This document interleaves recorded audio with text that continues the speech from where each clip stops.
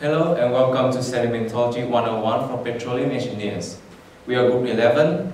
My name is Phúc and I along with Aaron and Alistair will discuss with you guys about irregular stratification and flame structures. But first, I want us to remind about the regular stuff first, meaning you guys all know about this, right? This is a regular stratification, starting off with those lame horizontal laminations or beddings, and which can consist of maybe this is a mud layer, and above that it can be a sandstone. And also we have ripples and dunes that we all know the shape and size of them. So that's a ripples. And the dunes is just like a, it has like a higher amplitude. So these two are ripples and dunes. I think that's enough for the regular stuff. Now we can talk about the more exciting part, which is the irregular stratification. So, convoluted beddings. I'm pretty sure that you guys are wondering like, oh, how does it look like?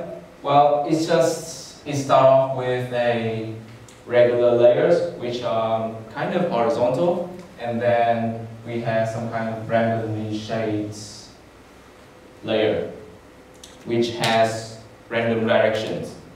And flame structures is just like, like a special type of convoluted beddings and it has like a flame-like ripples, which like so, it can form in the same direction or in a opposite direction. And please note that there we will have the horizontal layers sandwich those two structures. And that's it for how it looks like. And now we'll move on to Aaron to talk about the mechanism of these two structures. Right, so convolute beddings are formed when plastic deformation of unlithified depositional layer occurs. So when a large depositional event occurs, for example, a turbidity flow, that large and voluminous flow drags you know, an unlithified sediment and deforms it plastically along its flow axes. So for example, we've got an unlithified layer here, and then comes along a turbidity flow, for example it comes really quickly and at a large rate of volume. And as a result, it causes shear forces and viscous forces here. And as a result, this drags the, the, the, the unlithified layer and you get something like this. You get folding of the unlithified layer. And uh, this folding is known as a convolute bedding because, well, it's convoluted, as you can see. This happens because the viscous forces are in the flow direction, and as a result, the axes of the flow are also in that direction. And when the flow stops, you get um, a deposition layer on the top that seems to be undisturbed, as well as you know the original already lithified thing. So it's sandwiched between those two. That's for convolute beddings. Now, for flame structures, it's also due to there being a unlithified silty sand or mud that, that has been previously deposited. So we've got, but instead of that, instead of uh, a plastic deformation, it's because of the sudden loading suddenly causes a overpressure in the pores. So we've got this unlithified grains with plenty of pore water in between them.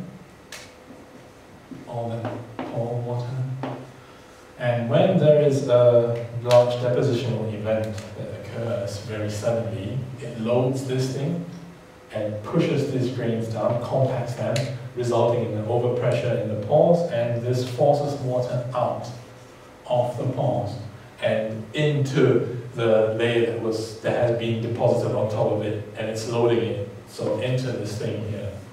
So as a result, uh, when the pore water shoots into the top layer, it also drags along with it a lot of the sediment that uh, was in it because you know usually it's a silty kind of sand or it's a clay And uh, as a result, we get these flame-like structures that are you know, kind of pointy and that go into the top layer.